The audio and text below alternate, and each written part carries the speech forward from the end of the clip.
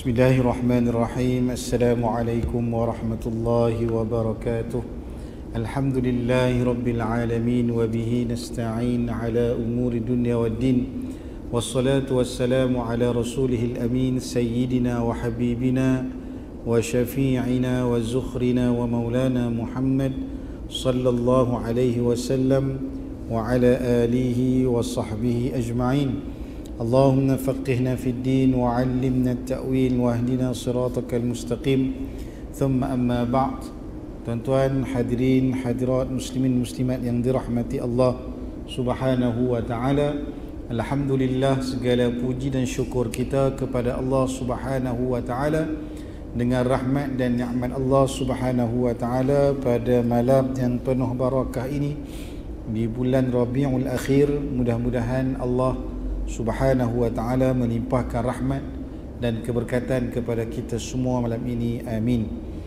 Tuan-tuan hadirin hadirat muslimin muslimat insya-Allah malam ini kita sambung pengajian kitab Al-Adhkar karangan Al-Imam An-Nawawi rahimahullahu taala wa nafa'ana Allah bi'ulumihi wa bi'ulumi masyayikhihi wa talamidatihi wa qurra'i sa'iri musannafatihi fid amin yang mana kitab azkar kitab yang menghimpunkan doa-doa dan zikir-zikir yang dianjurkan oleh baginda Nabi sallallahu alaihi wa alihi wasallam yang dikumpulkan oleh al-Imam An-Nawawi rahimahullahu taala.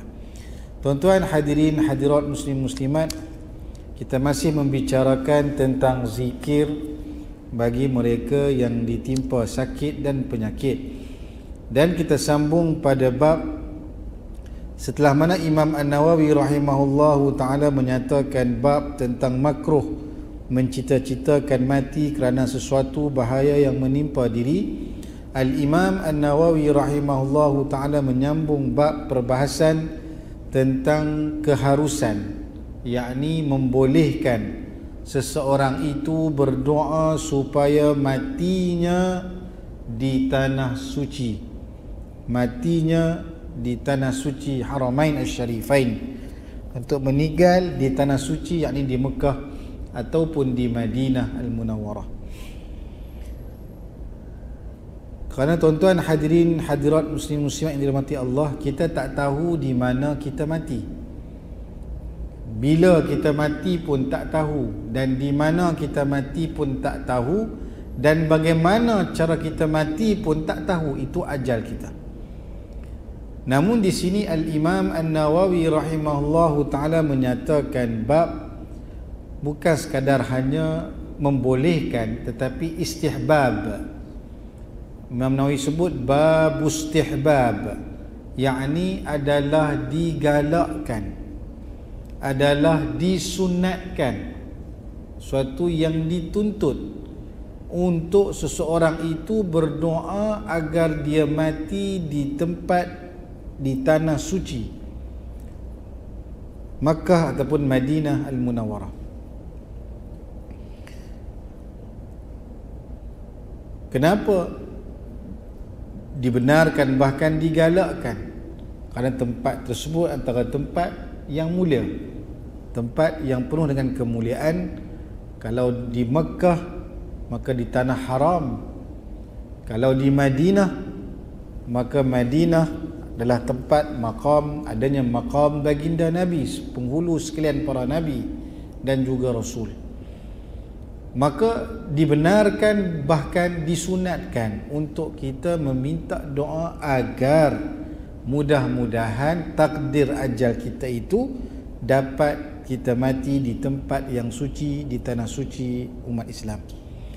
Maka al-Imam An-Nawawi rahimahullahu taala menyebutkan kami meriwayatkan daripada Ummul Mukminin Hafsah binti Umar radhiyallahu anhuma dia berkata telah berucap Sayyiduna Umar bin Al-Khattab radhiyallahu anhu Allahumma rzuqni shahadatan fi sabilik waj'al mauti fi baladi rasulik sallallahu alaihi wa alihi wasallam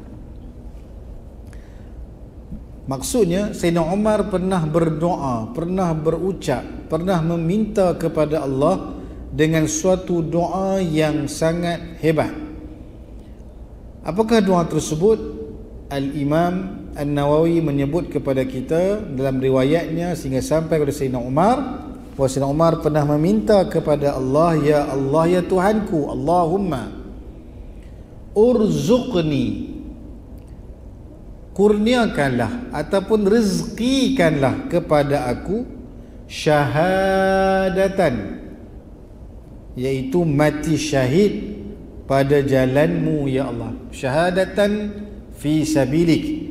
Mati syahid di jalan untuk menegakkan syariat Allah Subhanahu wa taala antaranya mati syahid dalam medan perang. Perang menentang musuh Islam yakni kafir. Dalam kita realiti hari ini umat Islam di Palestin masya-Allah. Mereka yang berada di Palestin di bumi Gaza mereka berhadapan dengan tentera Zionis laknatullahi alaih maka mereka diberikan rezeki oleh Allah untuk syahadatan fi sabilik untuk mereka mati di jalan Allah Subhanahu wa taala di medan jihad dan perang. Dan telah ha, kembali ke rahmatullah ramai para syuhada di bumi Palestin, lebih-lebih lagi di bumi Gaza. Ha, mati syahid di jalan Allah Subhanahu wa taala. Maka ini antara cita-cita Sayyidina Umar bin Al-Khattab radhiyallahu anhu tetapi Sayyidina Umar tidaklah mati di medan perang. Beliau mati ditikam. Ha, ditikam ketika mengimamkan mengimamkan solat.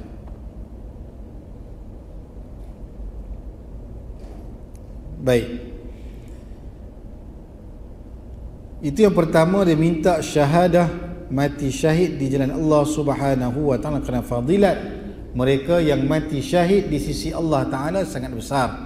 Di sisi Allah Subhanahu wa Ta'ala mengorbankan nyawa harta tenaga untuk mempertahankan negara kedaulatan negara umat Islam maka fadilat yang sangat besar. Di sisi Allah Subhanahu wa Ta'ala bahkan syurganya seluas antara langit dengan bumi ini ganjaran bagi mereka yang mati syahid di jalan Allah Subhanahu wa Ta'ala. Kemudian yang keduanya Sayyidina Umar meminta kepada Allah Waj'al mauti fi baladi rasulik. Ya Allah Ya Tuhanku Biarlah kematianku Berlaku pada negeri Rasulmu sallallahu alaihi wa alihi wasallam Sayyidina Umar minta agar Allah jadikan kematian beliau mati berada di bumi ataupun berada di negeri rasulmu sallallahu alaihi wa alihi wasallam. Ada dua tafsiran. Negeri rasulmu ini baladi rasulik apa maknanya? Sama ada mati di bumi Mekah juga bumi kelahiran baginda Nabi sallallahu alaihi wasallam Maka minta anda nak ditakdirkan mati Biarlah aku mati di negeri Rasulmu. Sama ada mati di bumi Makkah Al-Mukarramah. Tempat bumi kelahiran baginda Nabi Sallallahu alaihi wa alihi wasallam. Tempat di mananya adanya Baitullahil Haram. Dan adanya tanah haram di Makkah Al-Mukarramah.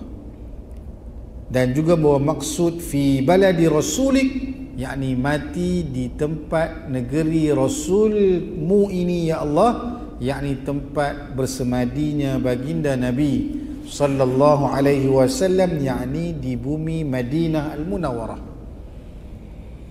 Yang adanya perkuburan Baqi' terhimpun ramainya para sahabat Nabi sallallahu alaihi wasallam yang dikebumikan di situ maka itu maksud baladi rasulik. Sama ada mati di bumi Makkah ataupun mati di bumi Madinah Al-Munawwarah. Lalu kata Sayyidah Hafsah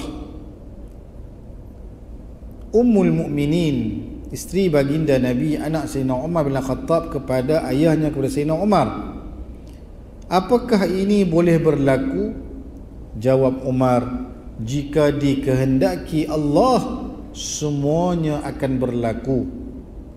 Ha, sekira mana?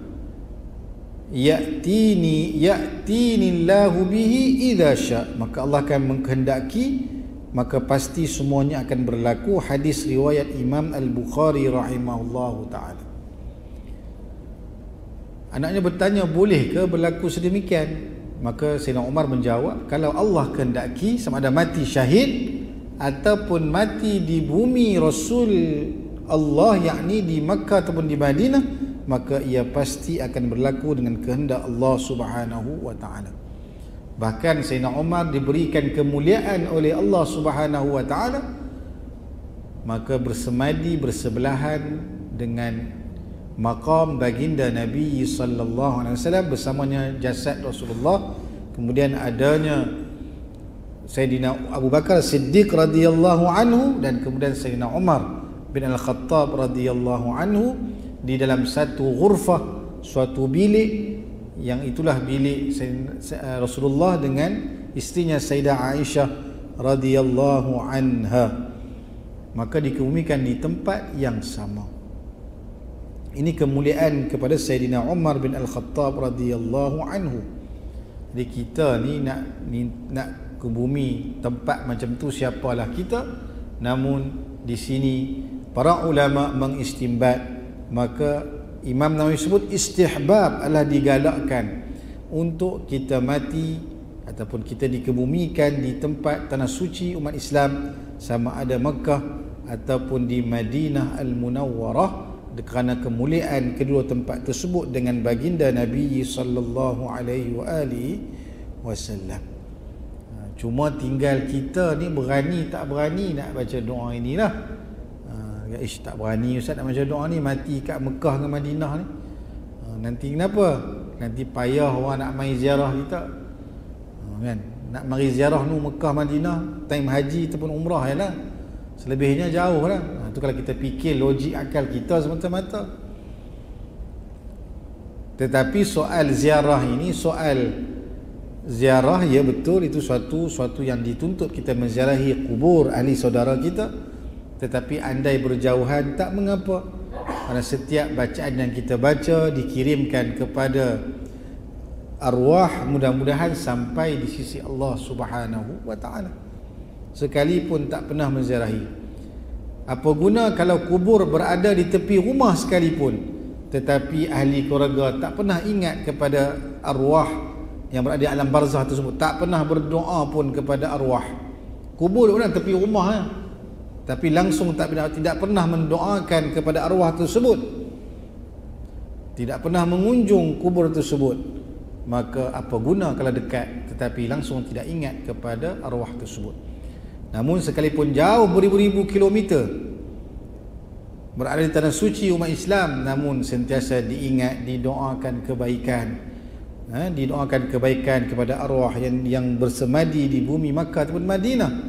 Maka itu lebih bermakna daripada berada kubur dan dekat dengan rumah waris. Tapi waris langsung tidak mengingati dan mendoakan kebaikan kepada arwah. Jadi tuan-tuan hadirin hadirat muslimin muslimat yang dirahmati Allah maka kita dituntut mendoa agar mati tanah suci. Namun hakikat dan takdirnya hanya Allah yang tentu Andai ada rezeki kita dimuliakan oleh Allah maka mudah-mudahan dipilih untuk mati dan dikebumikan di bumi Mekah ataupun di bumi Madinah Al-Munawwarah. Ha. Jadi dituntutlah, disunatkan dan dituntut kita berdoa dengan doa ini. Ha, cuma tinggal kita jelah yang nak berdoa ataupun tidak. Ha, jadi tuan-tuan hadirin yang dimuliakan Allah Subhanahu wa taala,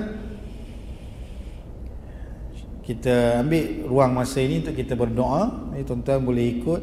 Kita saya baca tuan-tuan ikut dan mudah-mudahan Allah rezekikan kita mati di bumi Madinah ataupun bumi Makkah Al-Mukarramah. Tapi kalau tuan-tuan tak berani tak apalah tak payah baca lah. Ha, tapi nak berani baca-baca tak ada masalah. Dan tak semestinya benda itu semua berlaku dengan kehendak Allah. Baik. Allahumma ruzuqni شهادة في سبيلك واجعل موتي في بلدي رسولك صلى الله عليه وسلم doa tu pendek je ha, kalau tak boleh ingat bahasa Arab doalah dalam bahasa Melayu Allahumma Allahumma rzuqni syahadatan fi sabilik. Ya Allah rezekikanlah kepada aku ini mati syahid di jalanmu ya Allah. Dan jadikanlah waj'al mauti fi baladi rasulik jadikanlah kematianku ini di bumi rasulmu ya Allah sallallahu alaihi wa alihi wasallam. Baik, itu yang pertama. Seterusnya bab anjuran melunakkan hati pesakit dengan kata-kata yang menghiburkan. Bab istihbabi tatibi nafsil marid. Itu dituntut kita melunakkan hati untuk mem- memperelokkan memperbaiki hati pesakit dengan kata-kata yang menenangkan. Menenangkan orang yang sakit. Kata Imam Nawawi rahimahullahu taala kami meriwayatkan daripada Abu Sa'id Al-Khudri radhiyallahu anhu katanya telah bersabda Rasulullah sallallahu alaihi wa alihi wasallam Idza dakhaltum ala maridin fanaffisu lahu fi ajali fa inna dhalika la yaruddu shay'a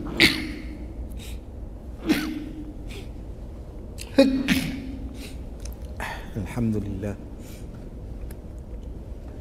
يهدي ويهديكم الله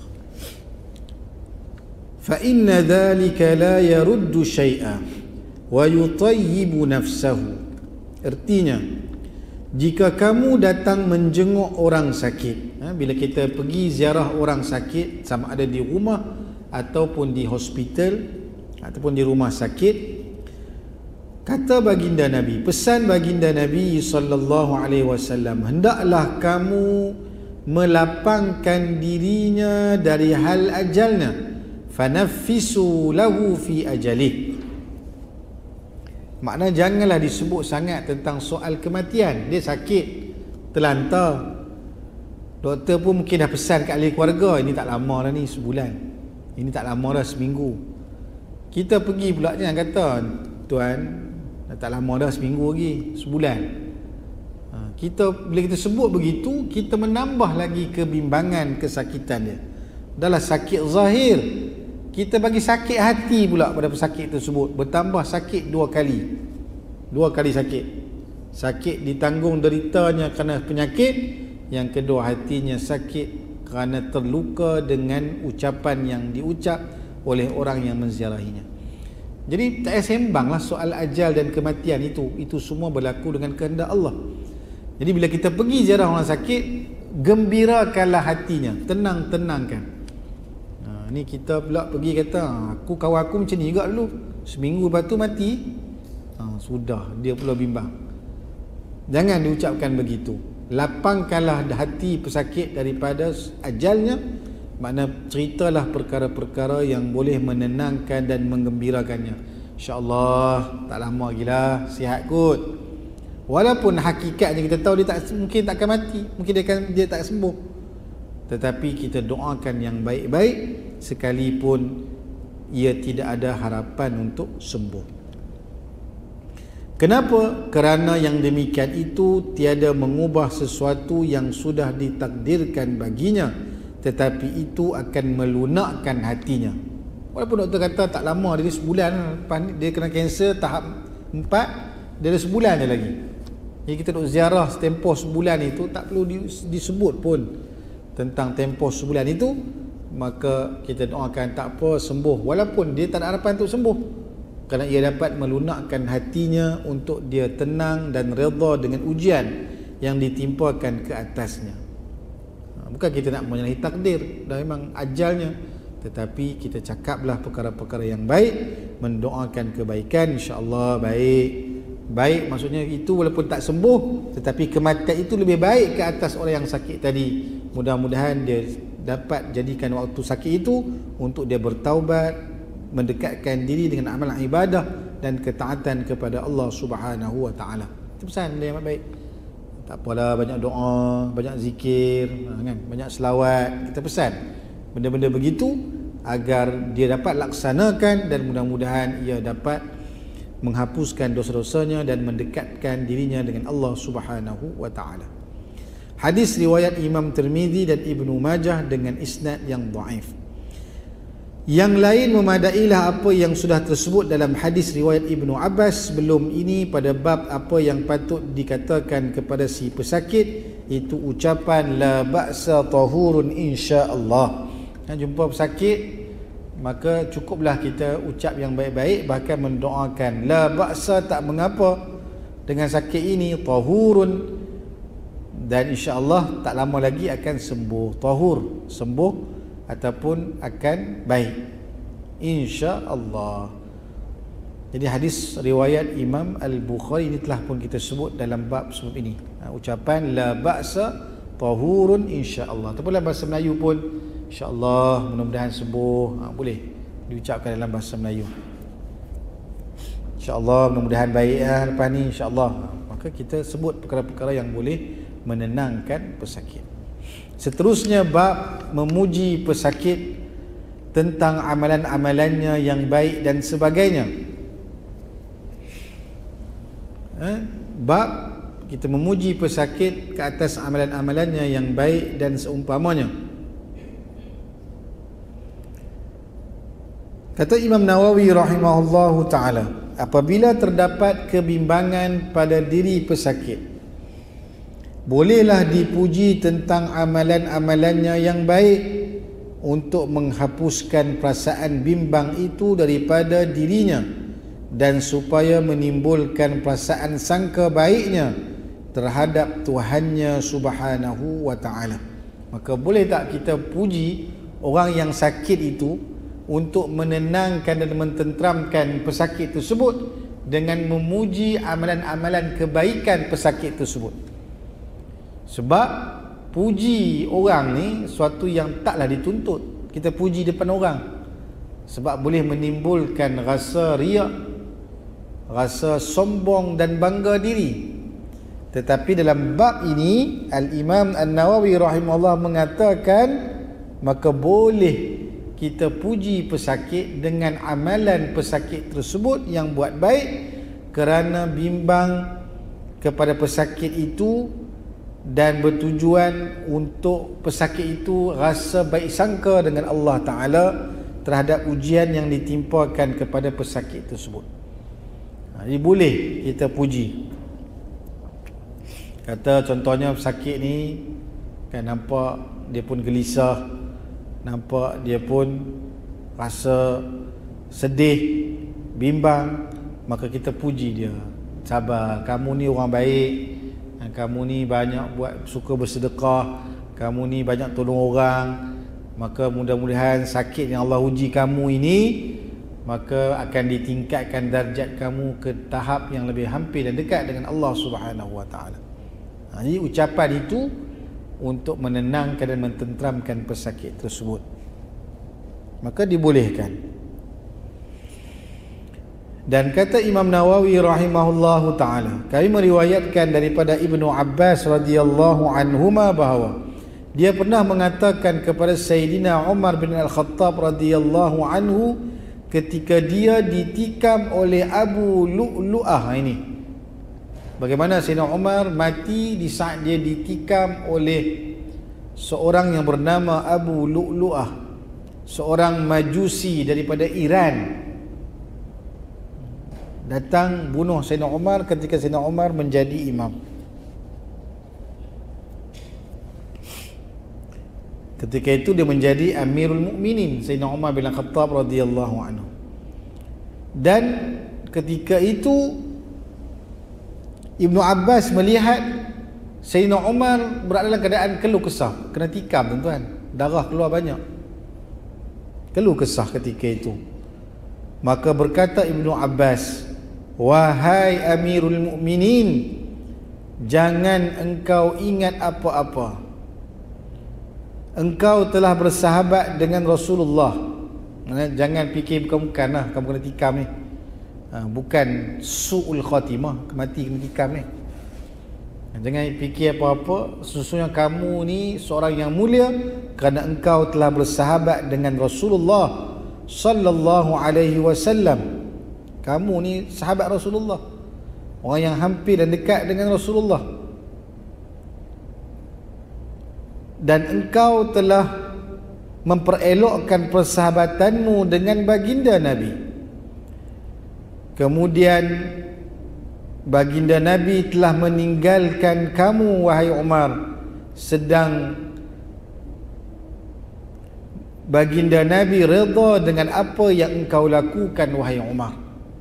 Rasulullah wafat maka Rasulullah redha dengan apa yang dilakukan oleh Sayyidina Umar bin Khattab radhiyallahu an kerana banyak pendapat-pendapat Sayyidina Umar bertepatan dengan ayat yang yang diturunkan oleh Allah Subhanahu wa taala kepada umat Islam. Ada beberapa nas Al-Quran yang turun mempersetujui pendapat Sayyidina Umar bin Al-Khattab radhiyallahu an. Antaranya dalam bab Sayyidina Umar melihat orang yang minum arak kemudian dia solat maka solatnya itu jadi rosak jadi pincang maka Sayyidina Umar minta kalau bolehlah arak ni diharamkan maka turun pengharaman arak secara mutlak selepas itu jadi banyak ada beberapa, beberapa ayat yang bertepatannya pendapat Sayyidina Umar dengan syariah yang diturunkan oleh Allah Ta'ala kepada baginda Nabi sallallahu alaihi wasallam. Ini bukan cara-cara orang. Sayyidina Umar jugalah yang mencadangkan kepada Sayyidina Abu Bakar Siddiq radhiyallahu anhu untuk membukukan Al-Quran dalam satu mushaf. Untuk ditulis kerana perang antara Sayyidina Abu Bakar dengan dengan golongan-golongan yang murtad yang tidak membayar zakat berlakunya peperangan akhirnya ramai sahabat yang mati terbunuh dalam peperangan tersebut menentang golongan murtad ketika itu maka Sayyidina Umar mencadangkan agar Quran ini dikumpulkan ditulis agar tidak hilang daripada dada-dada para sahabat Nabi sallallahu alaihi wasallam.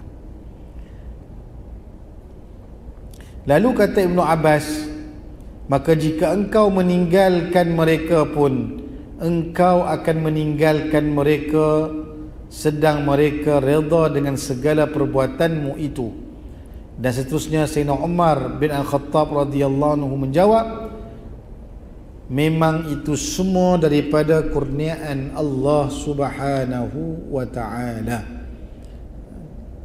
Kata Sayyidina Umar zalika mannun minallahi taala. Hadis riwayat Imam Al-Bukhari rahimahullahu taala. Baik tuan-tuan. Bila tengok pada kisah tadi tuan-tuan bagaimana Sayyidina Umar dipuji oleh Ibnu Abbas. Kamu ni sahabat Nabi, berkawan dengan Nabi dengan baik dan sebagainya dan Rasulullah redha dengan apa yang kamu lakukan. Mana memuji Sayyidina Umar. Tapi tengok macam mana akhlak Sayyidina Umar ketika dipuji oleh Ibnu Abbas di saat dia di, masih berlumuran darah ditikam oleh Abu Lulu'ah ketika itu. Makanya tawaduknya Sayyidina Umar dia menyebut zalika mannun minallahi taala. Semua itu kebaikan-kebaikan yang disebutkan tadi semua itu hanyalah kurniaan Allah. Bukannya sebab aku tetapi Allah yang memberikan kemuliaan kepada aku kata Sayyidina Umar bin Al-Khattab radhiyallahu anhu. Di sini akhlak yang boleh kita ambil pelajaran ambil pengajaran. Bahawa apa jua kebaikan yang kita lakukan semuanya adalah taufik petunjuk daripada Allah dan kurniaan Allah kepada kita untuk kita melakukan kebaikan.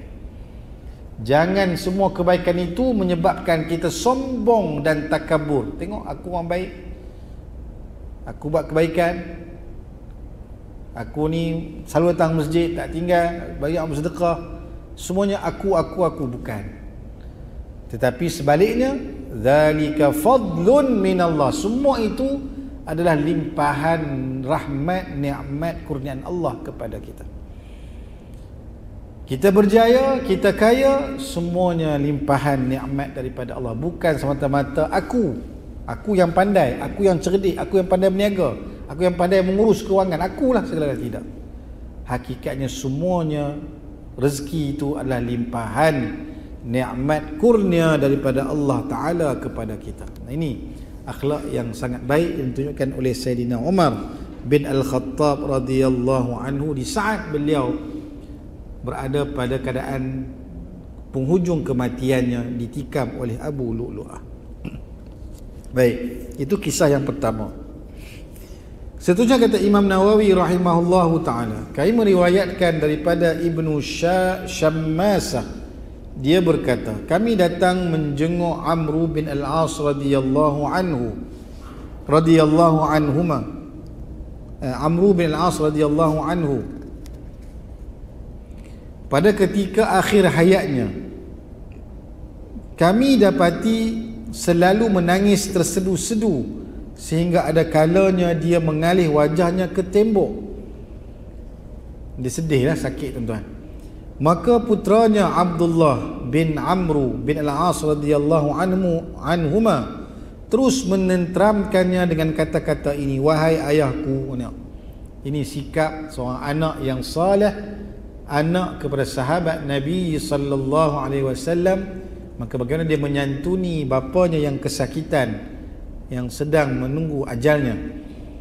Maka kata yang sedang berada dalam keadaan kesakitan kata Abdullah bin Amru kepada ayahnya wahai ayahku bukankah Rasulullah sallallahu alaihi wasallam telah menghiburkanmu dahulu dengan kata-katanya begini dan begitu sambil memujuknya? Dia ulang balik apa yang Rasulullah pernah pernah kata kepada Abdullah bin Amru kata kepada Amru bin As radhiyallahu anhu maka diulang kata-kata Rasulullah itu untuk mententeramkan hati ayahnya yang sedang sakit.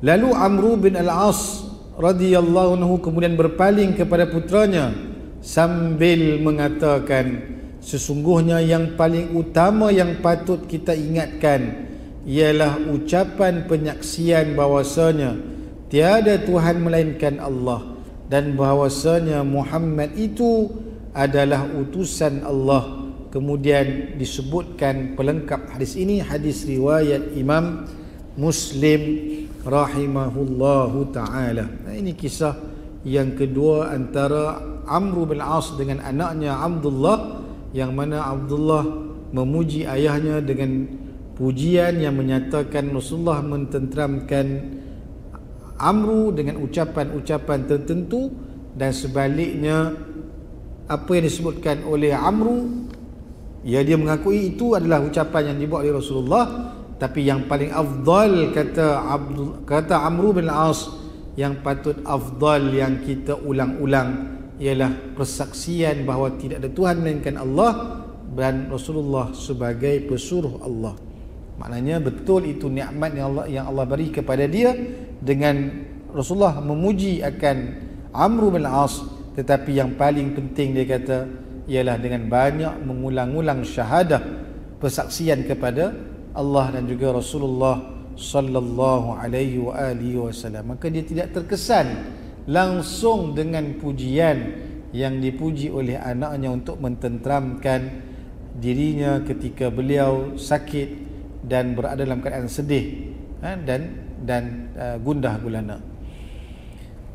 Seterusnya kata Imam Nawawi rahimahullahu taala kami meriwayatkan daripada Al-Qasim bin Muhammad bin Abu Bakar radhiyallahu anhu bahawa Sayyidah Aisyah radhiyallahu anha mengadu sakit.